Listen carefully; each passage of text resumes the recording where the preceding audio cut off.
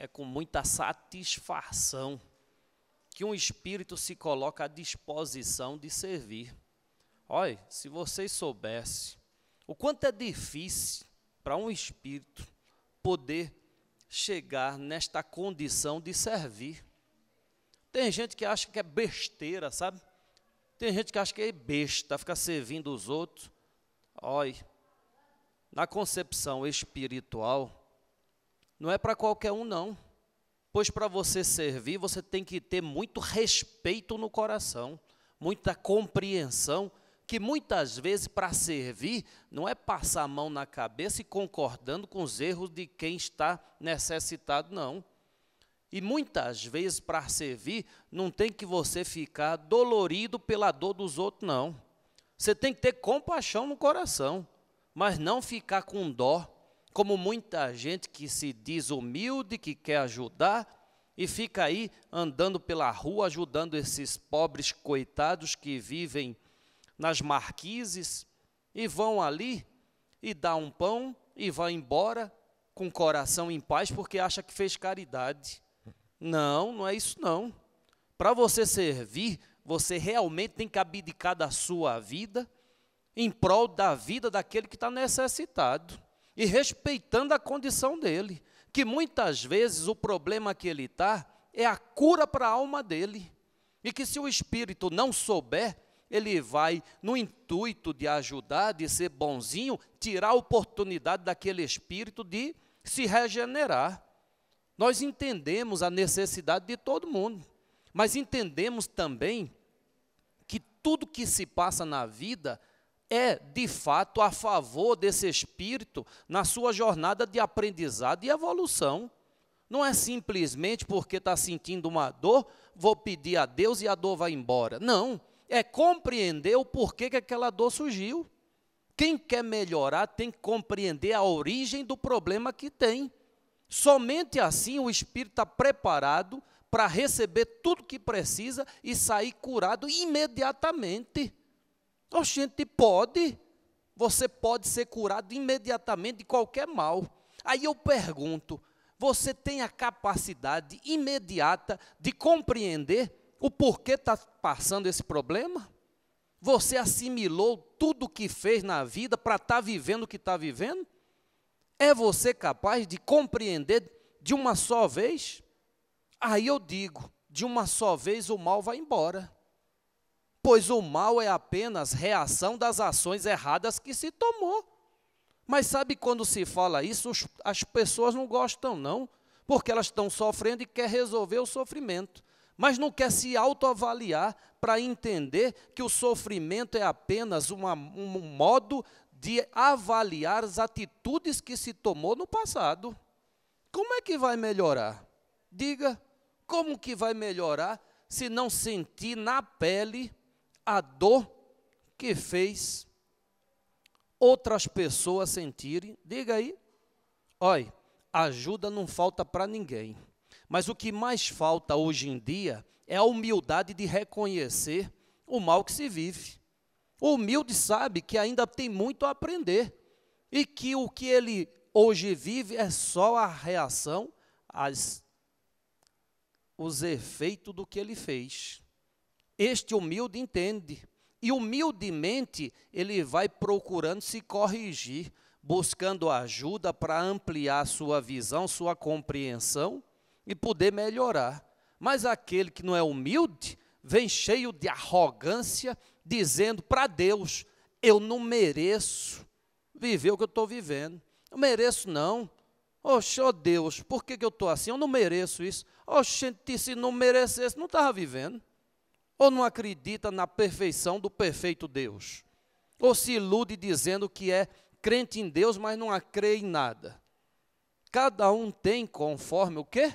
O que se plantou. Hoje nosso Senhor Jesus Cristo foi tão claro. Você é livre para fazer o que tu quiser. Tu é livre para fazer o que quiser. Tu plante o que você quiser plantar. Mas entenda só uma coisinha. Na hora de colher, não adianta reclamar plantou, colheu. Plantou, colheu. E se está hoje com problema, está colhendo o quê?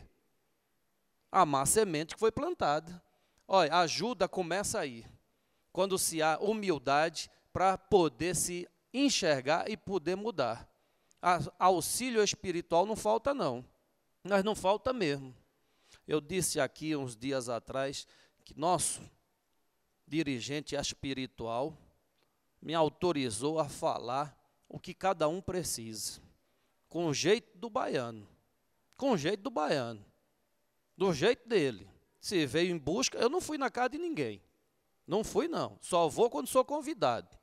Quem vem na casa de Nossa Mãe Maria vem de livre, espontânea vontade. Se está aqui e vem pedir ajuda do baiano, vai ter. Mas vai ouvir o que precisa ser ouvido. Por quê? Porque precisa, sim, ter humildade no coração para começar a fazer a correção. Não dá mais tempo, não, de ficar se iludindo, jogando a culpa no tal do obsessor.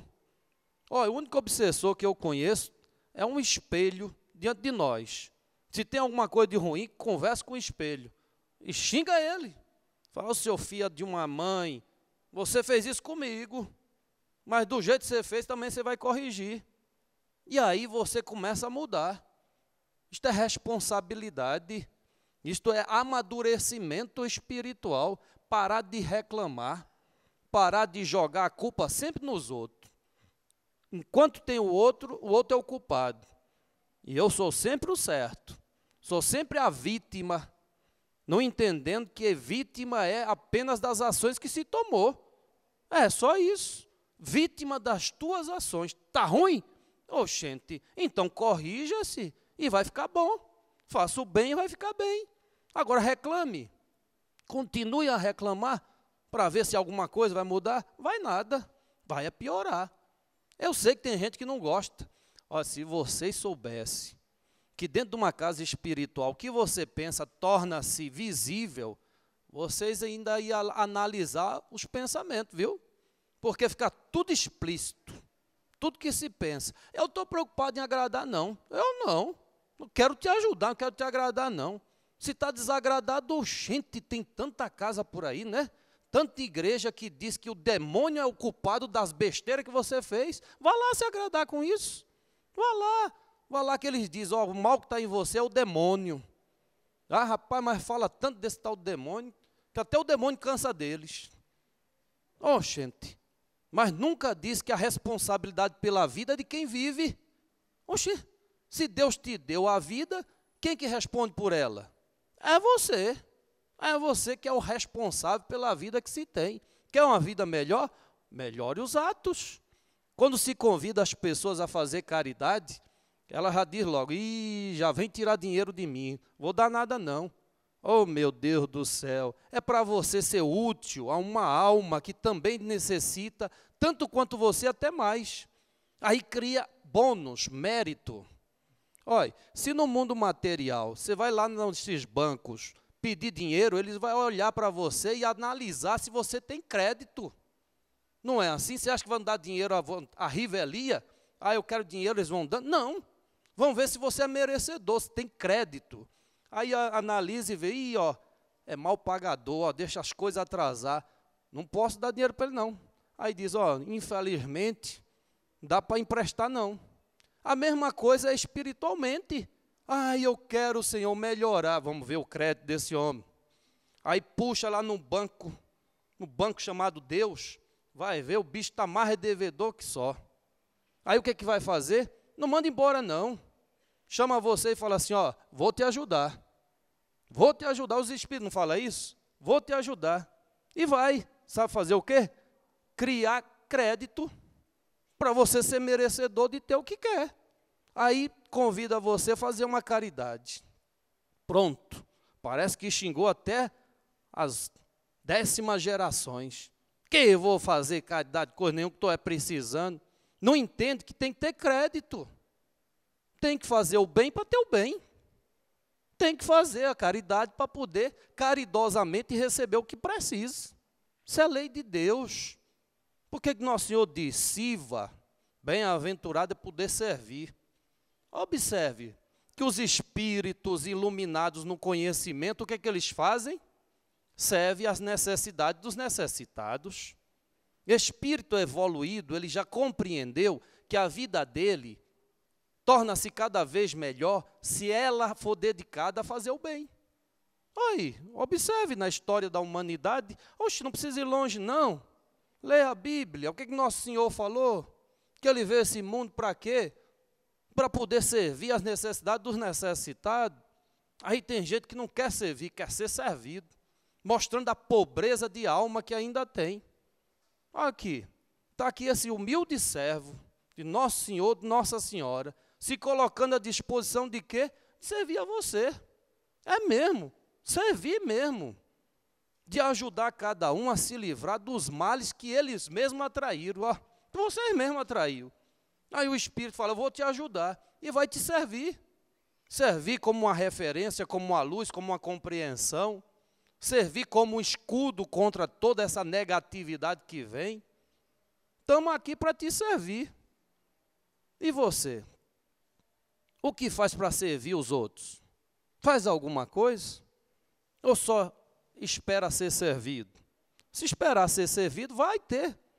Vai ter sim, porque Deus é caridade e amor, vai te servir. Mas vai ficar você sempre dependente de alguém que possa fazer por você o que deveria você fazer. Eu sou baiano, Zé do Coco. Do jeito que sou, estou aqui para ajudar. Quem quiser, se coloque à disposição que eu estou, à disposição de ajudar. Salve Nosso Senhor do Bom Fim.